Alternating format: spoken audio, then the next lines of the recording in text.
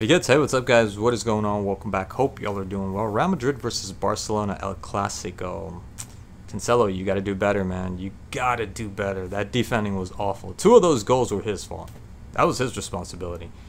Uh, I don't think that's the main reason why Guardiola didn't want him. Um, I remember when I was watching somewhat paying attention not really uh, and he was playing in City which I liked him. I liked uh, how he played in City there were times that I think Guardiola was giving out some kind of instruction, and you could see Cancelo wasn't having it. And then the following game, when I saw him on the bench, I I was not surprised because you know you don't play around with uh, with Pep. There's no playing around with Pep. Um, so when he ended up going to Bayern Munich, that wasn't that wasn't that wasn't a surprise. That that made sense. Um, obviously, nobody knows the interior, the the real motives, and what exactly was going out. But there was a falling out. I'm sure he didn't like being on the bench. Then again, nobody likes being on the bench. I completely understand that. I, I'm surprised Rafinha's not leaving because you know he's he's been in that role many times, uh, and I think it's justified when it comes to Rafinha. But Rafinha played good. I, I like the way he played uh, in this game. Ever since he's playing with PSG, I like the what he's been doing. But Cancelo Cancelo, that first, that like, you made Vázquez, and, and let me tell you, Vázquez was one of those players that I just didn't un- understand how he was playing football, let alone in Real Madrid. This guy I thought belonged in like uh, Espanyol, uh, Real Sociedad, or maybe Coventry in the championship, just somewhere else, not in Real Madrid. Uh, but he did get better. I did notice this season, like, whoa, when I saw him play, I was like, who is that? Is that Cristiano or is that Vázquez?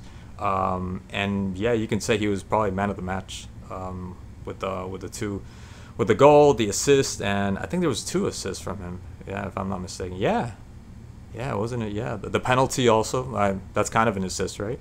So uh, you know he had a really good game, but he he, he made he made Vázquez look good in that first one. There was no way he already beat him. He already got to the ball before, but then somehow he lost them I don't know what he was trying to do. I don't know if he was trying to just co- cover the ball and let the ball go uh, out of bounds uh, for a goal kick, but he ended up just squirming his way, Vázquez, somehow over Cancelo. And I don't blame Cubarsí, 17, the inexperience, you know, leaving your foot out like that. What do you think is going to happen? That almost seemed like something, you know, something. I mean, that's what you see when we're playing for fun at the park, right? Pickup games and and if you call a foul while you're playing these pickup games, I mean, people are just gonna laugh at you. You know, it's the same sport. We're playing the same sport, but at the same time, it doesn't even seem like it's the same sport because you'll never get that as a foul in a pickup game, right? Or even, well, maybe yeah, official pickup games, official Sunday league games as they call them. But to me, it wasn't a foul. It wasn't a penalty, but I understand how that could be given a penalty too. Going back to Cancelo, that was that was all on you that was all on you. The second one was also uh, it was on him. I mean, where was he when Vázquez was coming in? And great definition, great strike by Vázquez, amazing. Uh, I didn't think he was going to do it. I didn't think he was going to. I thought it was going to go all the way up, and it was just going to be one of those moments like, oh, you could have won the game, you could have tied the game. I think at that point they ended up tying. Uh, but no, he got there just in time, and beautiful strike, beautiful strike. But where was Cancelo? Cancelo was Cancelo was like he had no clue that Vázquez was right behind him. Like he had no idea. You could tell like, huh? Like what? Like I didn't know he was behind me. He was lost, lost. Um, and that sucks because there is a really good player in Cancelo. I really, really like Cancelo. Um, I used to refer to him as uh, Silky AF Cancelo. Um, and you know, he still has that. Uh, he's just got to work on that marking and decision making also. I don't know. Sometimes I don't know what kind of football he's playing, but the, the reality he's he's in, he needs to step out of that and and, and get back to basics really, especially with the defending. Um, there was also some screwing up on Madrid's uh, side with uh, Lunin. Lunin in the beginning, when um, I think it was Lewandowski that pressured him, and he was trying to clear the ball and ends up giving it to Rafinha, and Rafinha thankfully was not expecting that and is not He's just not that elite player that everyone makes him out to be. That he should be. He should be. He's Brazilian after all.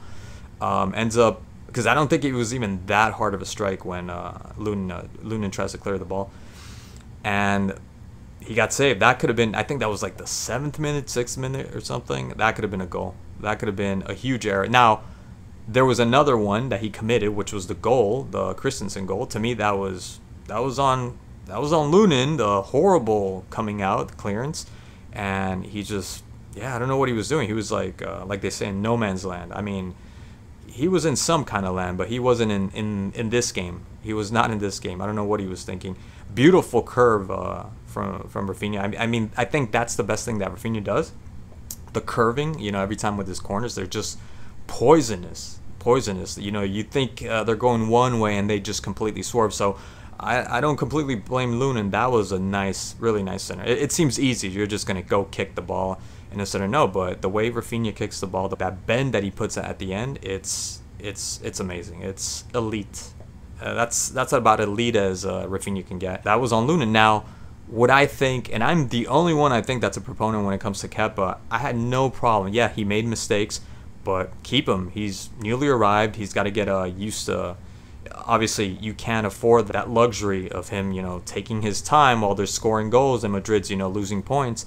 But it seems that they're okay when there's a Marcelo or a Vinicius or a Rodrygo and they're not scoring goals and they're holding back the team. They're hindering the team. It looks like Madrid has no no problem with that. But Kepa, man, Kepa had to be subbed right away. He needed to be switched over. Lunin had to come and take his place. And I do agree. I'm not saying switch him because of those two errors from from Lunin that you should replace him with Kepa. No, I'm not saying keep Lunin, of course. He's already there. He's already acclimated. He's already been playing for a while, so keep him. But to to say that Kepa needed to go away, I still don't agree with that. That he needed to be subbed. No, he didn't need to be subbed. In my opinion, I don't think he should have been subbed. But yeah, Madrid makes some mistakes. Um, Camavinga, another one that comes to mind, getting just pretty much blazed by Lamine Yamal, and I did appreciate this time his speed. He's got that nice burst of speed. He got burned a couple, a couple of times by by Lamine Yamal, Camavinga, and there was the sub. They made the right decision in subbing him. Vinicius, bro, bro, come on, man. I want to talk about that Koundé little altercation. Like there was nothing there. I get it. Koundé kind of just like fell off, but no reason why you need to go and and start a fight. I mean, that just. I was I was reading red all over that red card sent off all over that play bro, use your head. We're talking about Real Madrid. I know they have everything when it comes to infrastructure, all the resources you want. There has to be a psychologist. There has to be some kind of professional PhD, two PhDs uh, guy that, that that that could help him out. Needs to have a talk to this guy and change his psychology and his outlook on on these plays. I know it's part of the game, it happens, but man, it seems to happen more often with uh, Vinicius. You know, he's he's got to cool down because he's a key player. They need him, especially against Bayern Munich. I know it has nothing to do with La Liga, but you never know. He punches someone and he gets suspended for La Liga, for Champions League, and you do not want to have that. So yeah, he, he needs to cool down. He needs to find a way to cool down. I don't know. He needs to sip some caipirinhas or something, but he needs to cool the hell down. Um, and he had some he had some chances too to to be able to win this game. Uh, the really nice ball from Jude, uh, and the yeah, the finish needed to. He needs to work on that finish. Uh, but the run was good. I thought he wasn't gonna get there. I thought the ball was way, way too hard for for Vinicius, and he ended up somehow making it there. And uh, the finish. That's all. That's all that needed. Like it was a good play. He just needed to do the finish. And then Lunin with a really, really good, or maybe not. Maybe it was a lucky, the lucky bounce over Pedri but really good uh, counterattack after I think it was uh, Joao Felix with the uh, with the corner kick and the volley. I felt that he Vinicius Jr. wanted to he should have kicked it way before it, but he was trying to get away from his marker so he could have enough, you know, more time to be able to shoot the ball more comfortably. But it ended up making things worse, and it pretty much got away from him. He needed to shoot from an uncomfortable position, and didn't get really like a good, uh, solid uh, strike on, on the ball. So that was a missed opportunity. Overall, look, the game was was fun. It was good. It was I think it was more possession from Barcelona at one point. It seemed like Barcelona was going to come back. Uh, credit to Barcelona. Barcelona I thought had a really good game.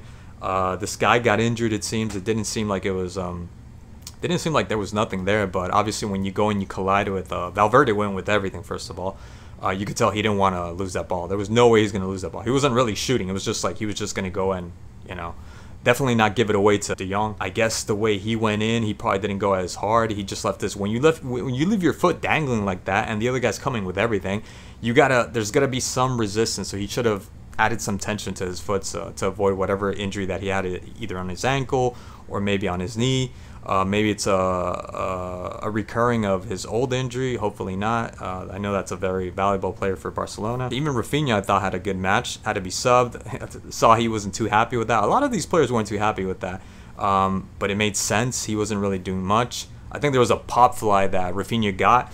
Instead of trapping it on one go because they're on Madrid side, and you need to be quick about it. He traps it with his chest, I think his shoulder, I think his thigh, and then finally his foot. Dude, if you're playing at that level, you're playing for Barcelona, it's got to be one drop. At max two, right?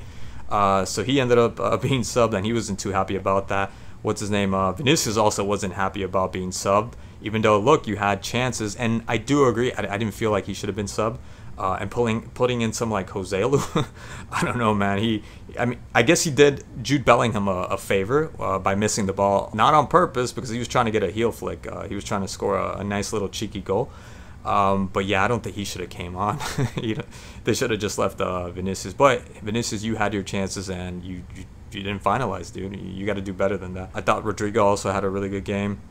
Fermin uh, Lopez also with the goal. I thought he had a really good game. Love the love the attitude of this kid, you know, uh, more so than Gavi. Gavi just seems like he just wants to fight everybody, but this guy Lopez, he has that desire to want to to win every ball, all 50-50 balls, you know, and, and going up against someone like Rudiger also respect, man, respect, because that guy is, he's nuts. He's a little bit like Vinicius too. He's a little bit uh wayward thinking, but also like Rudiger. You need someone like Rudiger. He's pretty much their Araujo uh, for Barca. So I'm glad that they they kind of cancel each other out. There's a little bit of tussling in the corner kicks and just like you know grabbing each other and wrestling on the floor, uh, but all in good sport. Rudiger you know picks him back up and stuff like nothing. Nothing. There's no uh, malice in there uh, at all. So really good, really good game. Very entertaining game. Lewandowski, a little bit too much complaining from Lewandowski. I understand he's a striker. He gets he gets targeted a lot, you know, with the hit and the and the kicking. But if he could pull back a little bit on the complaining, I think he'd, he'd be a, a great player, you know, great addition. He still is obviously a great addition to Barcelona, but just sometimes very slows the game down. Everything's a hit every time, holding his face, uh, always checking if there's like blood, you know, because he just got like he just there was contact on his face. But again, nothing out of control where he's uh, constantly on the floor like uh, like other players. Uh, Jude Bellingham, I mean, 10 out of 10 with that last strike. That was that was awesome. That, that was great. And just the ground that he's covering, the the marking, that never give up attitude that he has. Awesome to watch. Awesome to watch. I could watch that guy all day. Madrid, Madrid seem like they're going to be champions now. So maybe congrats, maybe not. We'll see. Pretty much. Anyways, guys, thank you so much for watching as always, and I'll catch you guys in the next video. Cheers.